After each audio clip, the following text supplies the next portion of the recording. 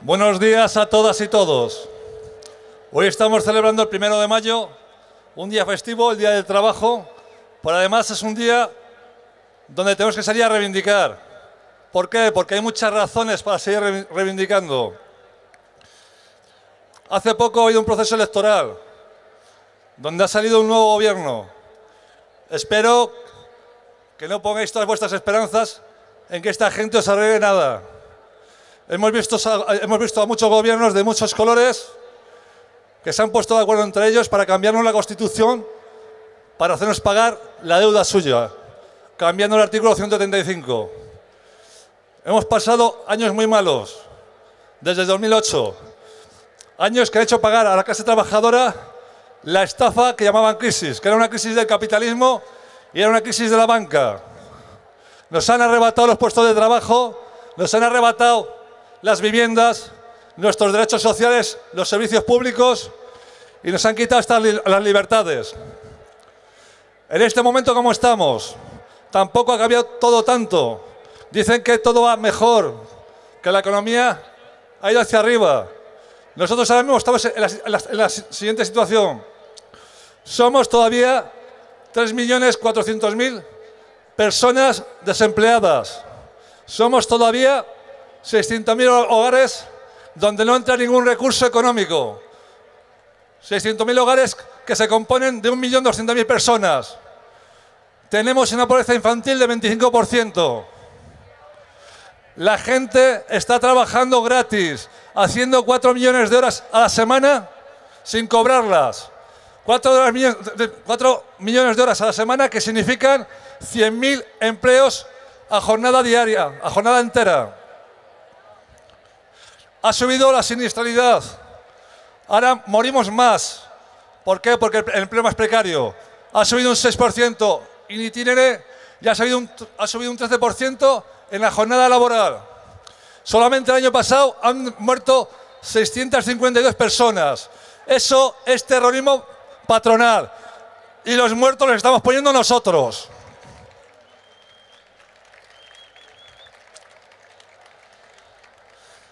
Seguimos, seguimos con una igualdad que no llega. Una igualdad que en vez de dar pasos hacia adelante, cada vez vemos que se mueve menos. Entre hombres y mujeres sigue habiendo un abanico muy amplio en derechos eh, eh, económicos y sociales. Y por supuesto es terrible lo de lo que está pasando con las víctimas de género con el, con el terrorismo machista. Y eso tampoco se para. Tenemos unas pensiones indignas, unas pensiones que no permiten vivir a nuestros jubilados y jubiladas.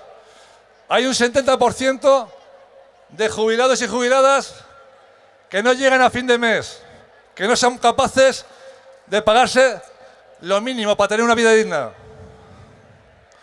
También esta gente con la precariedad laboral ha gestado una clase trabajadora pobre. Lo importante ya no es trabajar, lo importante es qué trabajo tenemos. Hay un montón de personas de la clase trabajadora que con su salario de, trabajo no llega nunca a fin de mes. Tiene que acudir a servicios mínimos para satisfacer, las necesidades básicas que tiene. Tenemos una sanidad cada vez menos pública y cada vez de, peor calidad.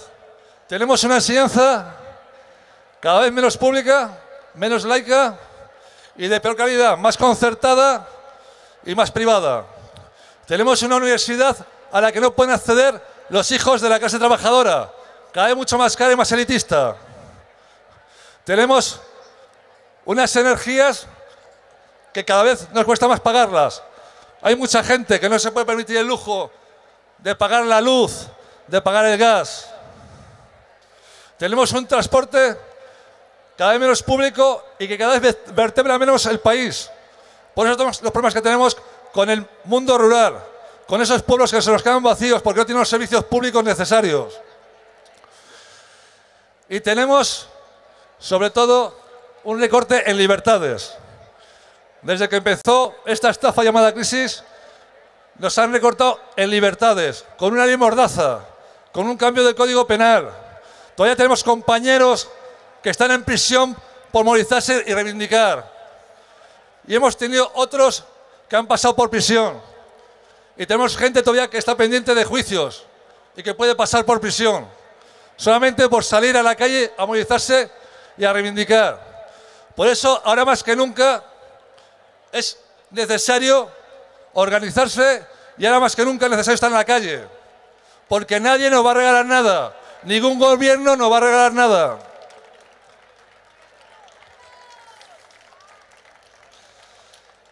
En cambio, ellos, desde que empezó todo este proceso llamado crisis, han seguido haciendo dinero. Y en los últimos años han superado todas las expectativas. Han ganado más que lo que ganaban al principio de la crisis. Un ejemplo es el Banco de Santander. El Banco Santander ahora mismo, en el año 18, ha ganado 7.800 millones de euros. Pero la banca en general ha ganado 17.000 millones de euros. Las distancias entre los ricos y la clase trabajadora cada vez es más grande. Cada vez hay más diferencias. Y eso no puede ser así, porque ellos han hecho beneficios gracias a las clases políticas, al capitalismo, a la banca, a los empresarios, ha hecho beneficios a costa del sacrificio de la clase trabajadora. Y todavía no nos han devuelto nada. Y es el momento de quitárselo si no nos lo quieren dar. Es fundamental, por eso no abandonar la calle.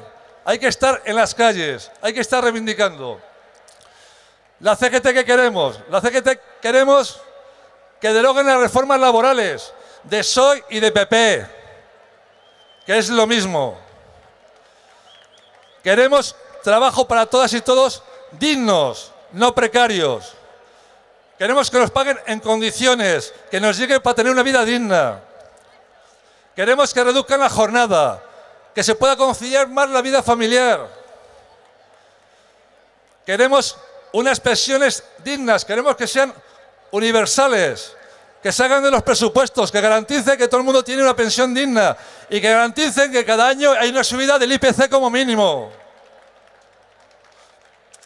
Queremos que de verdad se tomen en serio la igualdad.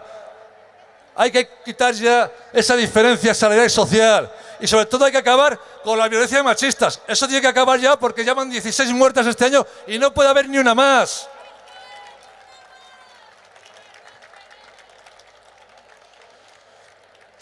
También queremos servicios públicos de calidad.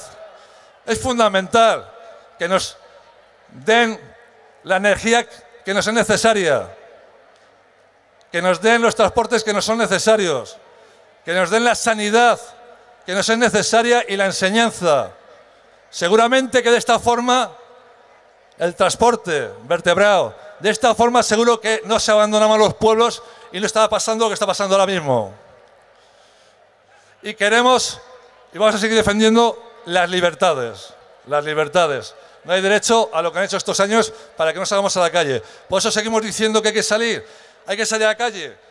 Tenemos que seguir luchando en la calle para conseguirlo. La CGT va a estar apoyando las movilizaciones que hay en las fábricas, en las empresas, en las administraciones públicas. En todos lados vamos a dar la cara para conseguir nuestras reivindicaciones.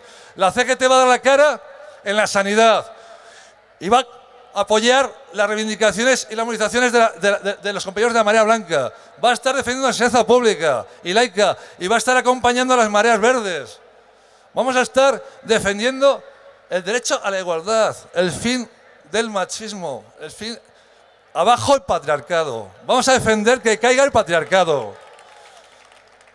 Y estaremos con el movimiento feminista coincidiendo y apoyando. Igual que hemos convocado dos huelgas ya generales, convocaremos las que sean necesarias, pero tiene que caer el patriarcado de una vez por todas ya.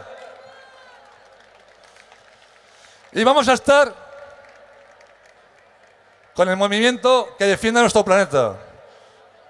Antes se me olvidó decir que es uno de los momentos, actuales que estamos viviendo es el medio ambiente, el planeta. Eh, se le está encargando, lo estamos viendo todas y todos. Están sobreexplotándolo por la avaricia del sistema capitalista. Y hay que estar dando la cara y parar esto de una vez por todas ya. Vamos a apoyar a los jóvenes por el clima. Vamos a estar ahí dando la cara los viernes por el futuro y vamos a apoyar todas las movilizaciones que haya para defender nuestro planeta y nuestro futuro.